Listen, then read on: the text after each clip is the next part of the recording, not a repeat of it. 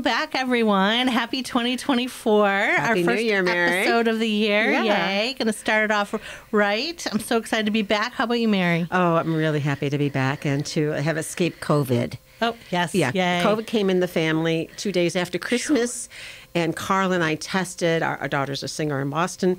She, oh God. So anyway, so she was really sick, uh, but then we, So we she got we it did all. it. We kept it away. so we're really grateful. Good job. Yeah. Good job. And what else are you up to, Mary? How's Rotary? Rotary's awesome, awesome. We're going to have a busy six months. Oh, actually, we need to invite Jane Seeker to come speak to us, Jane Newhouse, but for sure. Um, we are really, we're gearing up for two fundraisers, a cornhole competition, thank you, and I give Mary the look with the banging. around. Yeah. Yes. The a microphone. cornhole competition and a golf ball drop. Oh yeah, I know. Last year I won the golf ball drop. $1,000. $1,000. It was awesome. So I highly recommend uh, people getting involved in that. And the other things we're going to do, and we're really looking forward to it, is we're going to engage the community to wrap food for food banks. Oh, So great. we got a small grant. We're going to be using the other funds that we have from the golf ball drop, and uh, we're going to be putting together, you know, thousands and thousands of meals for the Merrimack Food Bank. And then the other thing is. Um, we are attempting, our Rotary is attempting to do something toward world peace. And mentioned the intensity of what's happening in, in Gaza and all that, we know we can't kind of get near that right now. So we're reaching out and touching a group called Friends Forever. And they bring young people together from very disparate groups and they attempt to have like an outward bound or something keep these kids together and they carry their experience, their tolerance for each other back to their worlds. So we'll be doing something like a, that a within the big next six months. climb here. Yeah, yeah, like, and then my, then my, my term is over and I'm done. You're going to go out um, on top, right? Yes, exactly. there you go. There you go. and you, Mayor, what are you up to? So, um, real estate. I had um, a closing uh, the last day of the year, so that was kind of good. But um, you know, now it's a reset button for the new year. Mm-hmm. So I have some things, um, you know, in the works. Interest rates coming down. Interest rates are coming down, so that's really, really good for buyers. Good. Get back out there, talk to your lender, get a re pre approval, get the whole thing done again, um, because you know we're about to hit the season. I mean, I have a couple of houses that um, we're coming on in the next couple of months, so um, you know people are getting ready for the spring market. Already. Excellent. Who's your favorite lender? Do you have a favorite? Um. I do. I well, I love Tony Cardinelli. oh, Cardinelli, that's right. Yeah, and he actually just moved his office near here, so I hope to see him more involved with Westford Cat, um, doing some, you know, as a business sponsor. So that'll be good. Um, 100 Women, I just got a notification yesterday that um, we're up to 160 members, which is up from just the last meeting um, where we had like 146. So just from that, just from people spreading the word, it's so amazing. I mean, that just means we're going to be able to gift more, you know, to to more Yes. well-deserving charities.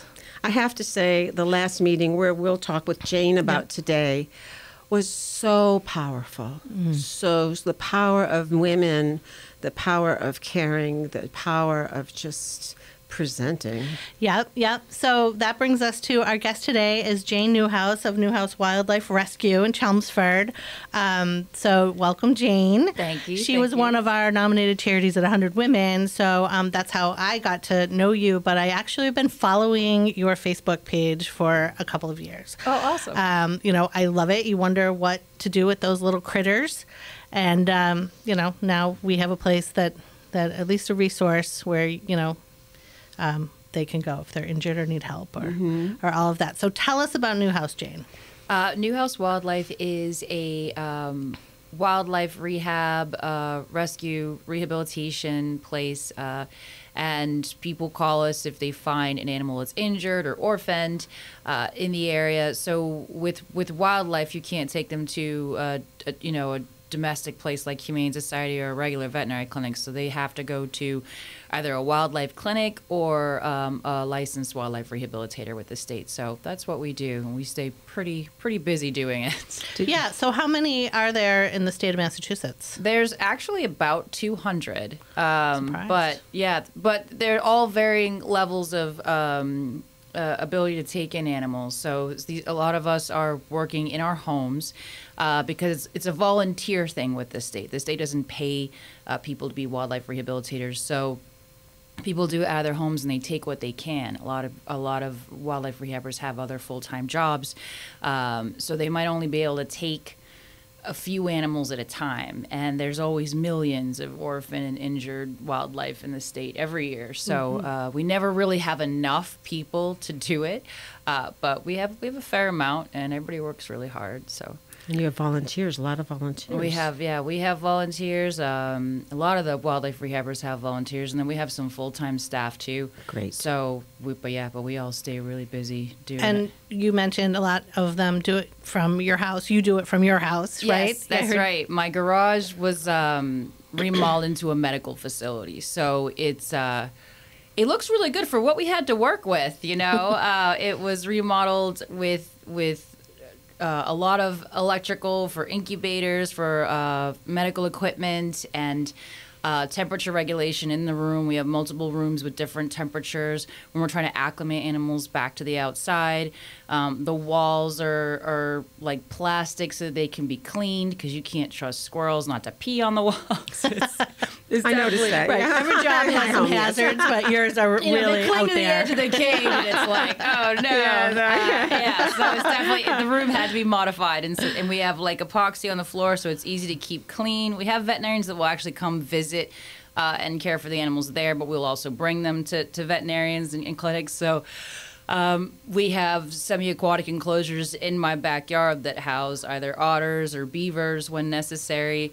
So we've done the max that we can with the space. You know, I have 0.6 acres at my home, so basically the entire garage and then a third of my yard is all um, enclosures and stuff like that to, to help the critters. So it's definitely got bigger than I ever thought that it would. And you have uh, plans for it to be even bigger, right? That's right. The plan is so it was interesting. We got reported by one of our neighbors because she had a raccoon um, uh, kill her chickens, and she was very upset about this. And um, she assumed that the raccoon came from us. Uh, and so she reported us to the town, and I don't know who it was. It could have been a he. I don't know why I'm saying she, but reported us to the town, um, and it started this whole investigation. And in all actuality, now legally we can release animals uh, within five miles of our facility, my home, uh, or five miles of where they were found, but we don't release all of our our raccoons, uh, any of our raccoons in my neighborhood because we take care of 60 per year. Oh my and gosh, all my lot. neighbors would be complaining. But I think that this person was very upset emotionally. She lost her Right, chickens. She wanted somebody to, to, to blame. And, and I understand that. I get that. Um, and so after that, the town had to come uh, do inspections, and they noted that my cages were too close to the abutting property. Uh, though my though all my neighbors were fine with it, my my abutters, my abutting neighbors, none of them have any complaints. And and honestly, if anybody did, they would have the right. You know, occasionally we get skunks, So- but they're all so supportive. Uh, so um, so we ended up having this this this big issue where the town was they were very nice, but they were like, we have to, you know, Right, the enforce the, the laws. Yeah. And then we got this um, amazing attorney, uh, Nancy Cook's daughter, Melissa. Um, what is Melissa's last name? Do you remember she's a real estate attorney and um, Nancy's daughter? Do you know her? Um, I'm sorry, I heard her last name again. She's well known around as a real- Robbins. I think Robbins. Oh, I Robbins, believe. okay. She's amazing. She's amazing, and uh, she volunteered to help for free. We were all like, all hope is lost. We can't just move our enclosures over ten feet. One of them is a semi-aquatic enclosure with like a pond in the ground, Yikes. and she came in. And uh, she called me. She's like, Jane, I'm obsessing over this. I'm reading everything, all the rules, all the regulations, and uh, I'm going to figure this out. And then she found a clause where, because we're an educational facility, we don't have to abide by the abutter rules. Oh. Um, there's a Do- Doberman clause, I believe is what it's called. Um, so when she presented the town with that, they dropped everything. Oh. Um, and so it ended up working, Working out, out. But it was a reminder to us, I think, all of us that were working there, is that we have outgrown the space. Um, we are at a point now where we need our own separate space for the animals. We need an actual clinic. And lots of uh, buffer to the yeah, abutters. lots of buffer space. so it was, you know, as much. It was really scary. We thought we were gonna have to shut down. We would have to move everything. Um, but it was a blessing in some ways too because I think it gave me the push that I needed to actually say, okay, it really is time for us to take that next step. So that's what we've been doing is we've been raising funds for a new clinic. Uh, we've been looking at properties. We've been talking with architects, and uh, yeah, we're really excited to build a wildlife clinic, uh, hopefully in Chelmsford.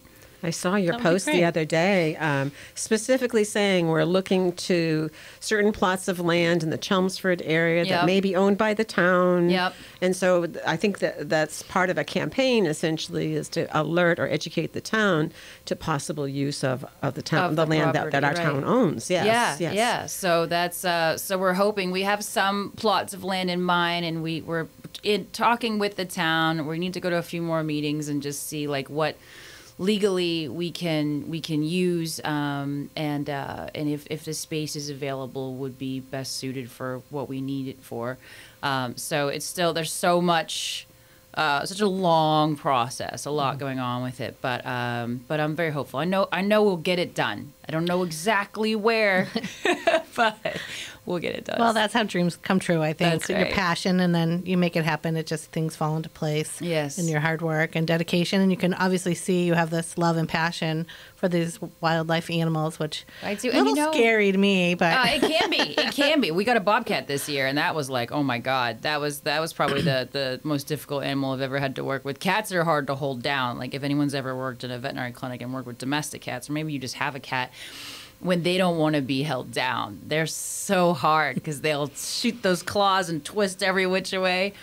Um, but I will say too that what I've been shocked by the most since I started this was was the support from the community like people are like what do you need? How can we help? Like the fact that my garage is a medical facility is all from donations from people that saw what we were doing. Every day i'll post this is the animal we received this is what we're doing. Sometimes they make it sometimes they don't. Uh, but people always see what we're doing. And then when i was like i want to build a semi-aquatic enclosure like we had the funds in a couple of days That's you know? And people are like what do you they really are. They're like what do you need? And every time i've done a post saying this is what we're trying to do the community has backed us up 100% so this it, it's been really motivating on the hard days the days when you lose the animals the days when you're like oh my god i haven't slept in three days feeding baby everything's you know but knowing that people are like we got you we support you you know it's it's it's amazing it feels really good What's your goal for your building? What's your financial goal? the goal is 500,000. In speaking with architects and the square footage that we want, that's approximately how much we would need. Um, we th- we've raised over 160,000 so far. Wonderful. Yeah. That's So uh, the starting, uh, we only started in October. So uh, it's still a big goal to try and get the rest. We were applying for grants and stuff too. Um, but I'm glad because it's going to take a while to find the property. It's going to take a while to design this place too. Because when you speak with architects, there's not a whole lot of wildlife clinics out there. So you can't just Google wildlife clinic layout. plans. You know, Floor Floor plans. Right, Right, right, right. It's not. You know, you can you can do veterinary. there's no clinic. Pinterest for that. There's No Pinterest, yeah. and uh, and that's what makes it really difficult. Is there's not a lot of people who know a lot about. There's not a lot of wildlife rehabilitators out there, and so when I'm talking to the town about conservation property, they're like, I don't know if what you do falls under conservation. I'm like, it's it won't be written anywhere whether it does or doesn't because the, there's not rules and regulations right now around that like i have i have rules i need to follow with the state you know the state has very specific rules about Like how the cages are supposed to be sure Yeah. um, but as far as like the each rehabilitator does have to work with their individual town, but the towns don't have like okay, here's our wildlife rehabilitator book. These are the rules and regulations you need to follow with the town. Right. So um, there could be an argument of is what we're doing conservation, you know, and I think there's a strong argument that it is. We're literally conserving our wildlife. We're not working with domestic animals. So, uh, and a lot of what we do is all the animals that we treat is from human interference. It's from hit by car, someone cut down a tree, somebody poisoned a bunch of rats and the foxes ate them, or a bird of prey ate the poisoned rats. And so, um, so much of what we do is is trying to help with the amount of difficulty we cause as humans for the animals that surround surround us. So, Hmm. um, Let's hoping- talk more about fundraising. Sure. I know you have a fundraiser coming up soon, right? Yes, we do. The Salute Wine Bar in Littleton. We're so excited about that. That's on January 30th. It starts at 6, and people don't have to buy tickets to go, uh, but we're doing raffles. So we were going to ask any local businesses if they have anything they'd like to donate for the raffle. We would be super excited, um, and anyone that wants to come is invited to come. Uh, I think it's gonna be a lot, a lot of fun. We're gonna have, we'll be there. My team will be there. Um, there'll be lots of uh, amazing prizes to win. We'll have videos of the animals there. So, and the, the owners are great there. Yeah, they really Um, are. They are wonderful. So it's a nice place. Did you follow your theme? What was your theme? Oh, I know. We had a, I had a couple ideas that night, but no, I, thi- I, yeah, I think they they've got their own plan. But, Sounds but we're happy to help. We would love to help And, and, and if not the this word. one, maybe another one.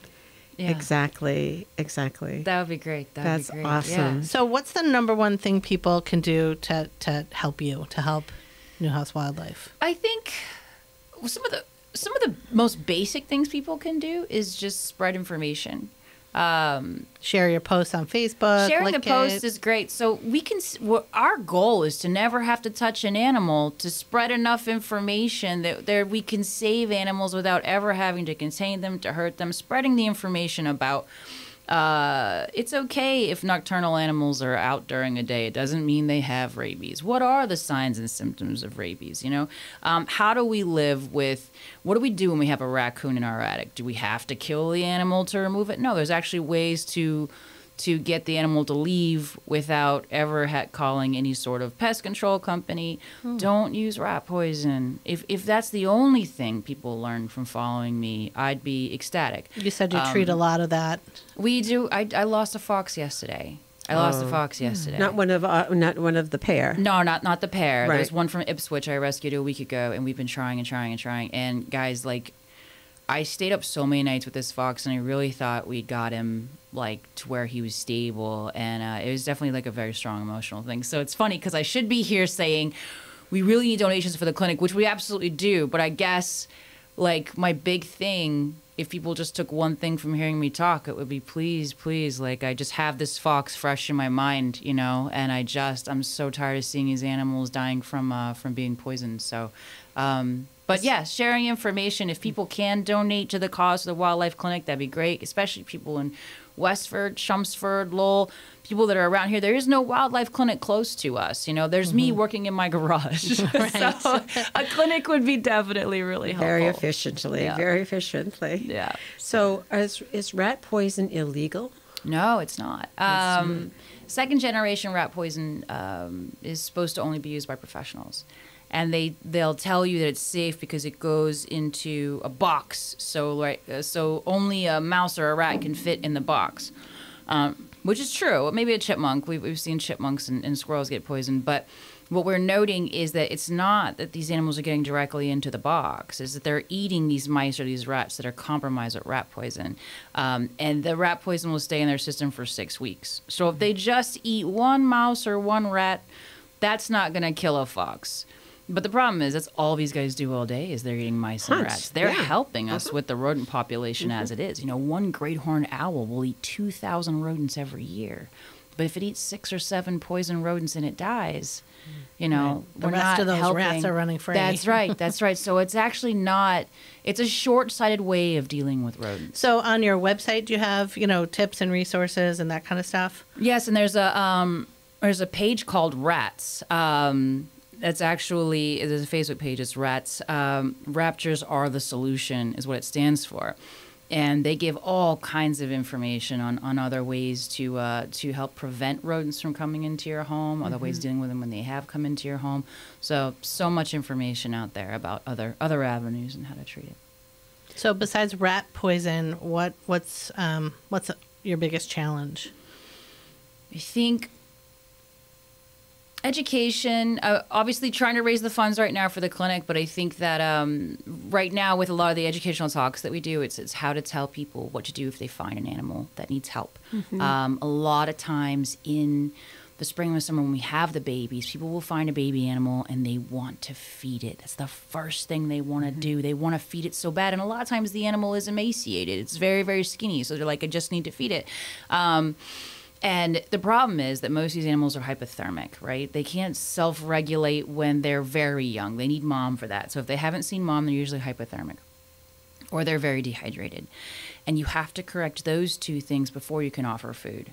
If those two things aren't corrected, I'm touching the table. You told me not to touch the it. table.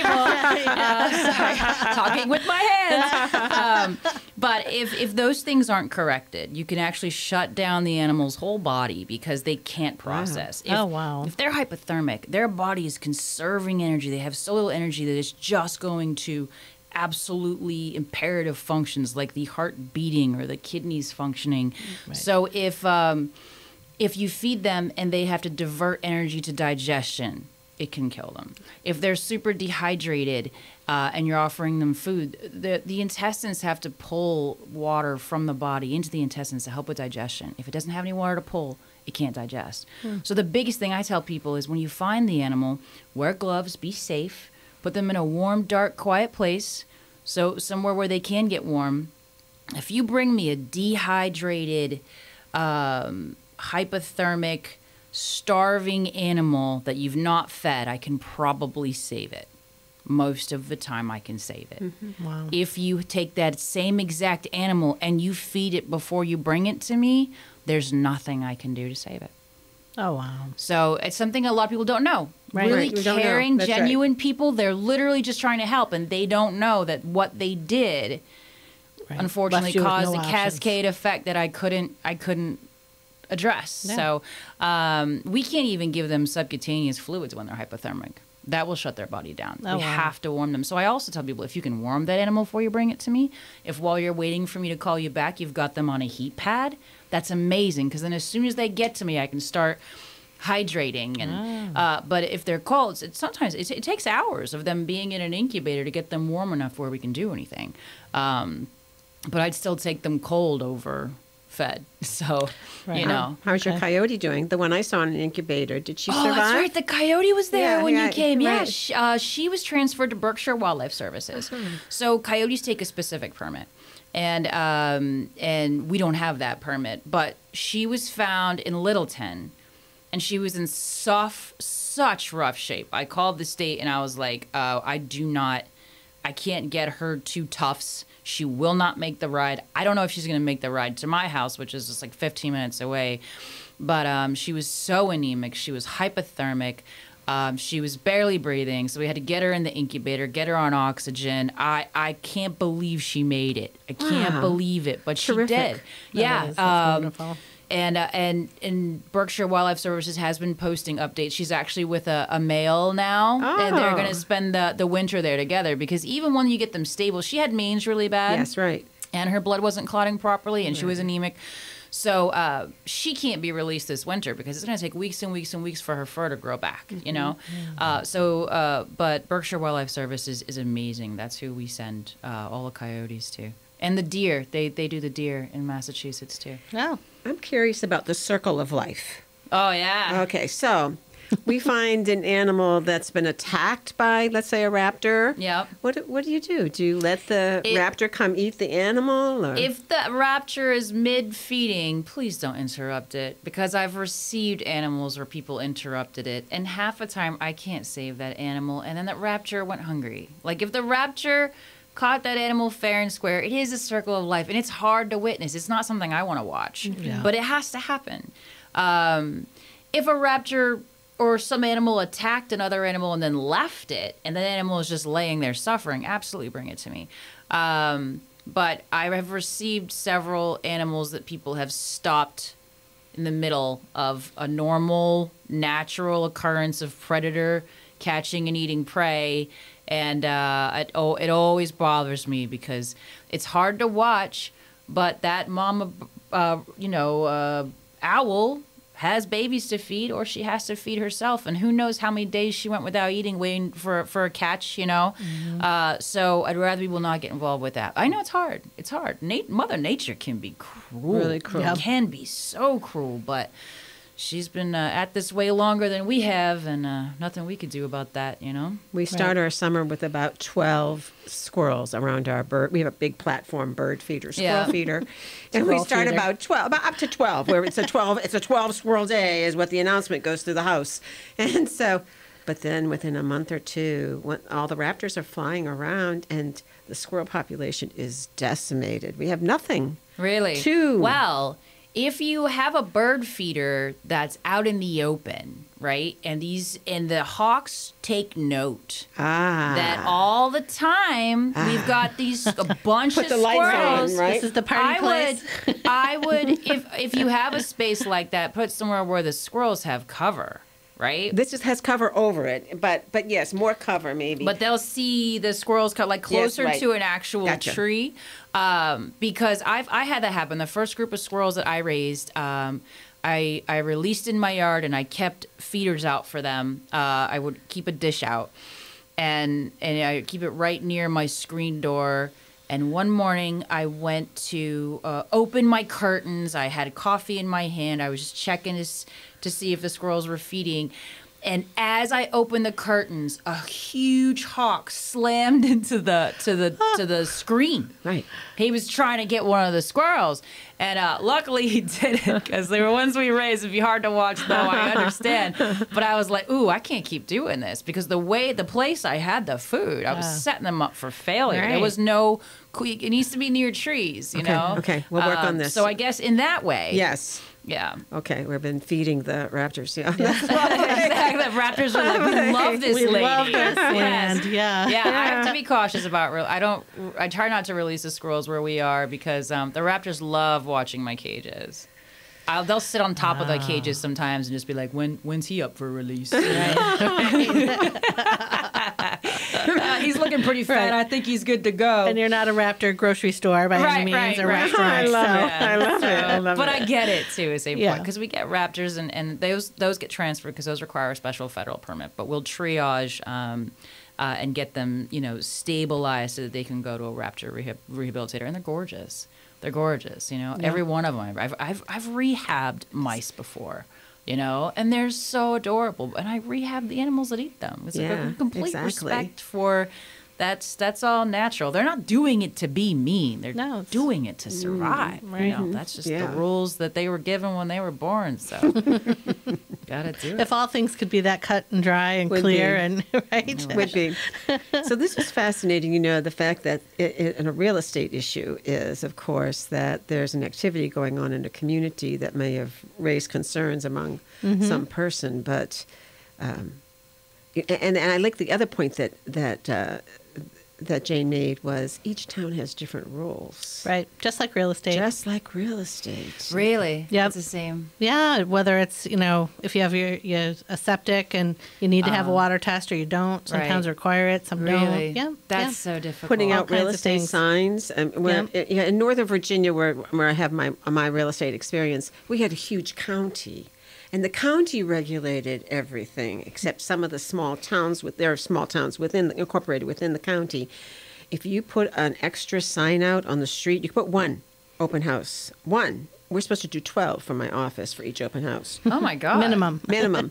and then and then after your open house, you have to go to the police station, climb into the dumpster, and get your signs. No. But so so every town is different. Yeah. And I think coming up here to sell real estate, that was the hardest part, Mayor. Was it? Was I didn't know the towns and I didn't know all of their idiosyncrasies Right. and so it made it it made it hard to feel competent um, just because of the difference in regulation. Yep, I know. For me, with real estate in Massachusetts, I thought it was very interesting how the boundaries, you know, the, there are boundary markers, and so they still have some of that old timey, you know, from this post to that northwest facing post is, you know, that line, lot line. Oh, the big rocks too. Yeah, You big see rocks big and this rocks, rock like, wall. back in the day? Yeah, I mean, so it's really. I mean, I grew up in Illinois, so we don't have things as old as out here. But Yeah. um, yeah, I, that just has always stayed with me from our real estate exam.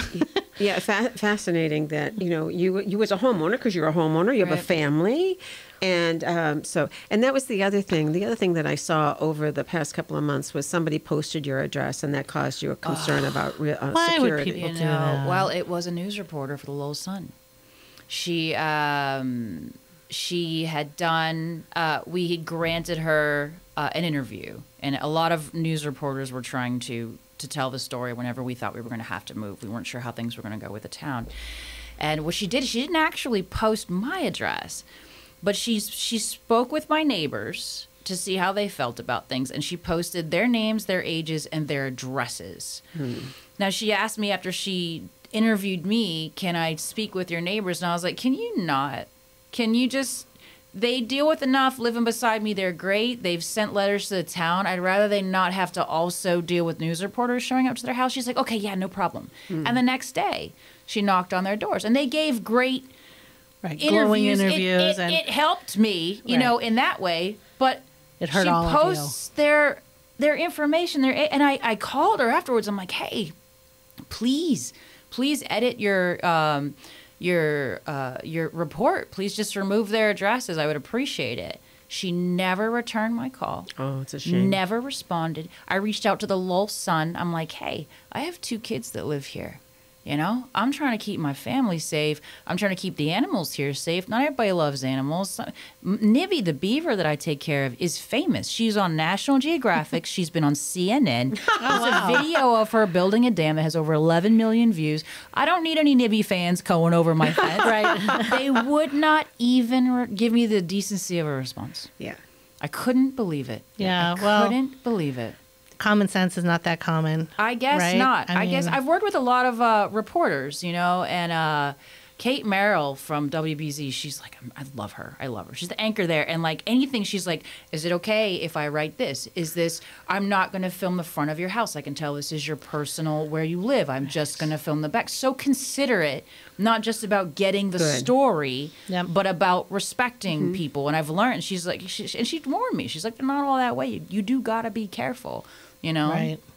so lesson learned from that. No more no more interviews with with Lowell Sun for Newhouse Wildlife mm-hmm. Rescue, unfortunately. And then the other thing too, I don't know if you ro- you know Robin Grant in Chelmsford. She just posted a fundraiser, a birthday fundraiser for Newhouse. Oh, So that's something that could catch on too. Is Yep. that I've never posted a fundraiser. You've, you've posted fundraisers, Not your for my birthday on Facebook, but I've seen them. You've seen and I've them, yeah. So, yep. Yeah. So, yep. so anyway, so there are people out there doing that. So that's something you could also it's there's so much support. or like There's an so Amazon wish list. I'm sure you can get supplies for you. Yes, we do that. We do that Yeah. every time we post a list. It's it's empty within one or two days. That's great. You know, it's I'm telling you, the support it keeps me motivated during the hardest times. I'm like, I'm not the only one that wants this. There, the we the the community wants this for these animals. So uh, I know we're not alone, and I know we're doing the right thing, and I know I know we'll get the clinic built, and uh, I'm excited about it. That's wonderful. Wonderful. So where can people find you? What's your website? What's your So we're at newhousewildliferescue.org. Uh, we constantly update Facebook. That's the that's the page that I'm frequently updating. We do have an Instagram. We do have a TikTok.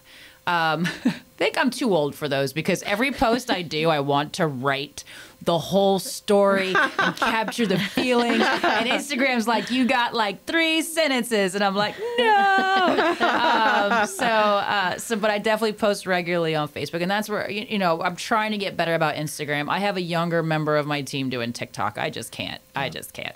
Uh, and we have a YouTube channel too, but um, but yeah, newhousewildliferescue.org has our website, uh, has our fundraisers, has information on what to do if you find wildlife. It also has our events. We do a lot of free educational talks.